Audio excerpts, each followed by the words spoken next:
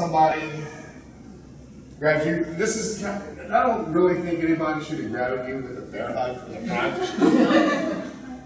I mean, but what is the, what is the, uh, what is the basic defense for that?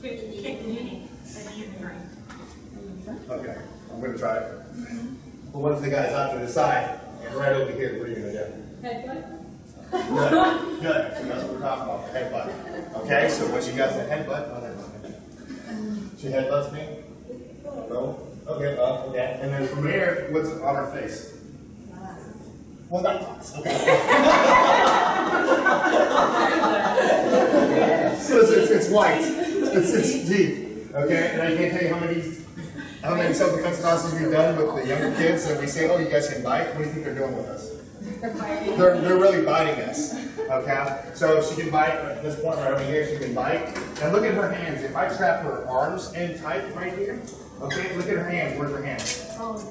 My hand there, okay? okay? Now the things that she can do, if I, let me borrow your no, I'm not gonna hurt you. So he grabs me, okay, because I had this, I had that groin right here. I can basically push out on his hips. When I push out on his hips, you guys heard of Beyonce? Yeah. Boom, she Beyonce's that right over here. That creates, what do you think that does? It creates space for me to kind of headbutt, bite, possibly knee. And from here, I got my elbows, and then I can strike, kick, and then move out my way. Okay? Does that make sense? Now we're going to talk about from the rear. Okay? So right over here, somebody grabs you from the rear, and let's just say they've got both hands. Okay? Again, you got the man, remember. Okay, other option she has, she can box me out or Beyonce out. Boom, and then her hands are popping up. As her hands pop up, it loosens it up. What do you think she's going to be doing next? Oh, oh, Ugh, elbows. Good. Okay, calm down, sir. You elbows. And from that point on, you basically hit that person, and then what do you think you need to do?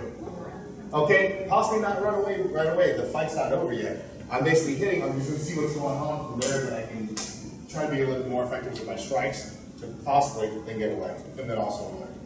Okay? All right, so what did you guys think of that? If, if the person has a real good grip, what can you do? If you're not able to kind of push that person out. Kick their shins. Okay, kick the shins, possibly. Come over here. Okay, she's gonna try to kick my shins? Yeah, but guess what I'm gonna do with her? I'm basically throwing her on the ground. Okay, so what other options do we have that's gonna be where you're gonna have your stability? Headbutts, right here. Come on. What's wrong with your eyes at me? You're the one that's talking. So, but let the headbutt me for like. Yep, so you basically headbutts, and at the same point, then she can go ahead and remember, it's not this motion like you're flying. It's just basically popping it out, like the hands are going straight up. Okay? So boom, and then you can. Okay, so those are some other options if the person is really has that tight grip on you. Okay?